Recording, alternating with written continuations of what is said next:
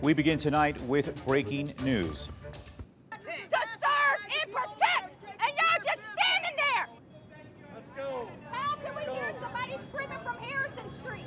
We are. A big crowd gathering at the site of the collapsed building in downtown Davenport. Police are moving people away from the scene on Main Street, and they're urging people to stay away from the site with the structural integrity of that building totally compromised. Police are moving the crowd back to Harrison Street. No one is allowed up to the fencing for safety reasons.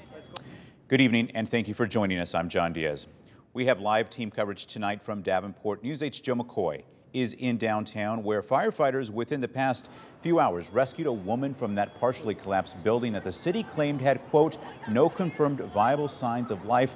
As of tonight, that building is supposed to be torn down in a matter of hours. Good evening, Joe. Good evening, John. As you just said, an unbelievable story. They still found a living human being in the building tonight, but you can see there's around 100 people still gathered here. Now, at about a 7.30 a.m. is when they found this woman that News 8 had confirmed by the family was Lisa Ann. Now, the story that they told News 8 was that Lisa Ann was knocked out. We don't know if she was asleep or she was knocked out by potential gas for whatever reason, but she was not awake. She got up she was able to charge her phone and then she called her daughter. She called her daughter to tell her that she was still alive. At that point, they were able to get firefighters and paramedics to come to the scene and take her out of her apartment. But these protests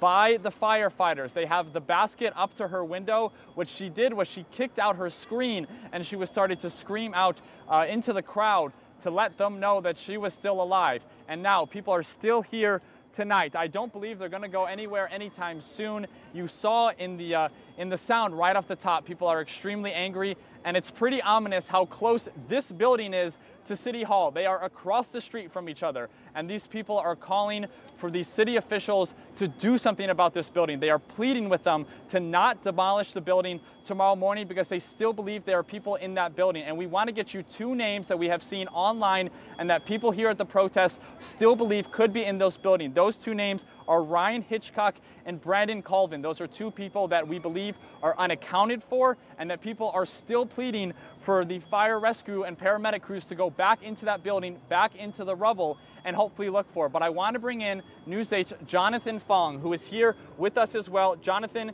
you are covering this story, and it's been a pretty crazy couple of hours for the people who are now displaced out of this building.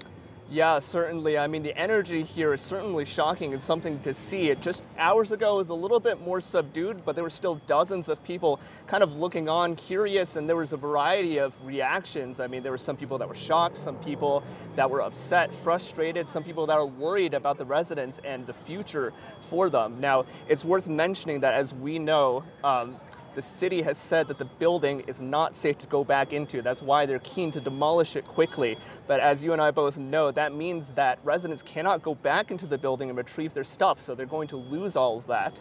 And for one mother that's a resident of that building, this is going to be the second time she's reliving something like this. A friend called me and told me it was going to get uh, tore down, and I'm like, I don't think so. I didn't hear anything about it. A tough reality for Toriana. Not even an hour later, I received a call from the sheriff, and I asked him, and he was like, yes, they demolishing it tomorrow. A single mother and postal worker. And nobody could get their stuff. So everything I worked for is gone. The building she lived in since last October partially collapsed on Sunday. I just beat homelessness last year, and now I'm right back where I started. Yeah, yeah, pretty, pretty frustrated. Upset, the owners didn't let her know about the demolition. It's crazy.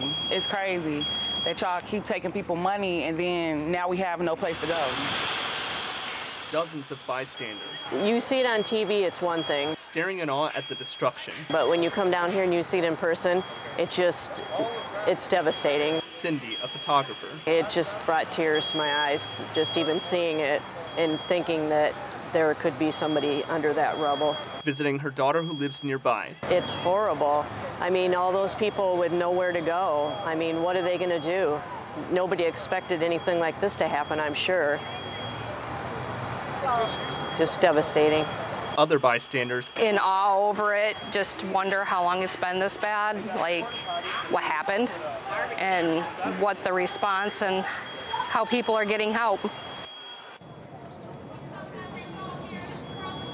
Now, there are still several questions that are left unanswered despite several press conferences from city officials, things that we're still uncertain about the amount of injuries or deaths, if any, and if there are any main reasons or causes behind the building's partial collapse. What we do know is that residents have complained about the building's condition in the interior several times, and that city permits have been issued for repairing the wall that had come down on that side, and then the building owners have been working with engineers to get that side side repaired.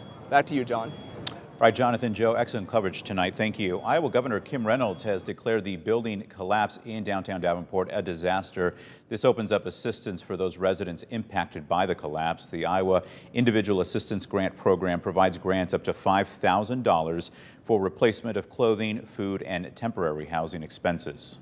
All right, residents are speaking out about the building's condition before it collapsed. They say the building Built in 1911, had endless issues from water leaks to cracks in the walls. The city of Davenport says the building owner had permits to make wall repairs under the direction of an engineer. Tenants saying they aren't surprised something went wrong, but that they could have never imagined an issue of this magnitude.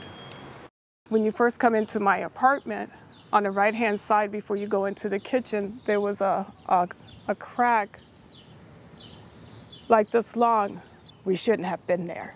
And how dare them? Shame on them. Davenport officials tell us right now they don't believe anyone died in the collapse. They also say demolition of the building, as we mentioned earlier, will begin tomorrow.